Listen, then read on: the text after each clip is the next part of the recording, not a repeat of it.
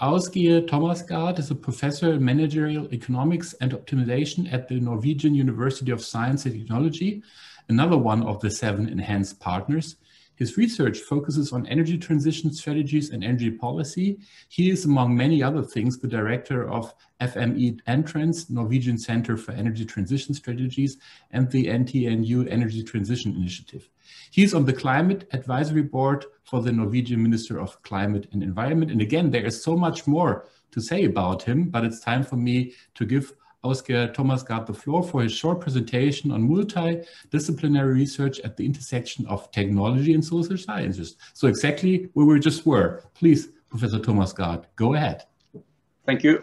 It's a pleasure to be here and, and being able to participate in this dialogue. And um, I have uh, selected some uh, some ideas from one of these research centers that I'm involved in, the Norwegian Center for Energy Transition Strategies and I'll try to focus on on on uh, bringing this into into to the scope that you have defined in terms of how can universities of technology contribute uh, and, and where must technical and social innovations go hand in hand. And I'm focusing most on, on research, but I think this is as important when we discuss how to create the education system of, uh, of the future. So I hope we can also come back to that during the, the, the, the panel discussions. And um, uh, the research design of this research center is going on for the next five, six years. And, and in 2018, we tried to gather together in some roundtable discussions all the stakeholders that we are working with in, in public offices and uh, industry. And, and we asked them some, some tricky questions related to what are the most important topics in, in your in organization when you want to when you want to move towards a zero emission or climate neutral society. And, and this outer circle contains uh, contains the, the topic areas that I chose. And remember, this is uh, focusing on the energy transition, but we realized very quickly that the energy transition is not about transitioning the energy system. It's about how the energy system can help transitioning the rest of the society. And you look at energy production, infrastructures, prosumers, consumers, smart cities, industry, transport. And, and, you realize that the future energy system is very much about the interfaces between technologies and the social sciences and innovation, if this is going to, to happen. Then next we asked uh, these, these uh, stakeholders, what are the most important drivers to, to manage this change in your organization? And uh, sustainability naturally came out on the top. Digitalization as one of the enabling technologies, the need for radical innovation and disruption, and continued value creation as we do the, the, the transition to, to a zero emission society. And uh, based on that, we try to put up uh, eight-year research program in, in uh, transition of society. And uh, I think that the multidisciplinary research that we find in the borders between technology and social sciences is essential to create transitions. Uh, and, and I think it's important that uh, here says engage the public, but I think it's maybe even more important that the public takes ownership to the transition and that you, that you have the needed innovation potential to disrupt. And I think the way you look at innovation will change when you realize that the citizens take ownership of the transition processes as compared to the relative passive notion that we had 10 years ago where the citizens would accept the transition. And I think that there's a lot of interesting uh, thinking to do in, in, in, in, in that, these links, going from the passive accept via engagements to the citizens taking ownership to transitions. And um, if you look at the, the energy system uh, and, and, how it affects um, the rest of society, I think some of the examples of potential disruptions that we hope to see would be the need to manage to have negative emissions, how to withdraw Uh, CO2 from the atmosphere in not too many years ahead. How to move the whole wind industry out in the oceans using offshore wind. How to replace fossil fuels in heating industry and transport with clean fuels like hydrogen. Possibly coming from, from natural gas using carbon capture and storage, but in any way you need the fuels to be clean. And, and, for sure, these depend on technological development. They depend on, on uh, new technological breakthroughs. But so many of the key success factors are social disruptions that need to, to happen in parallel. And I come back to that in my summarizing slide. But first, I would like to say something about how we designed uh, this uh, research program around the interfaces between different types of systems, and for sure between um, ecological systems, human systems, and technological systems. So one of the first areas that we focused on was the deep decarbonization and how that would move into societal change. And uh, if you look at this, it means that the energy system will transition in order for transport to transition, in order for industry to transition, and in, for, in order for the buildings uh, to become zero emission.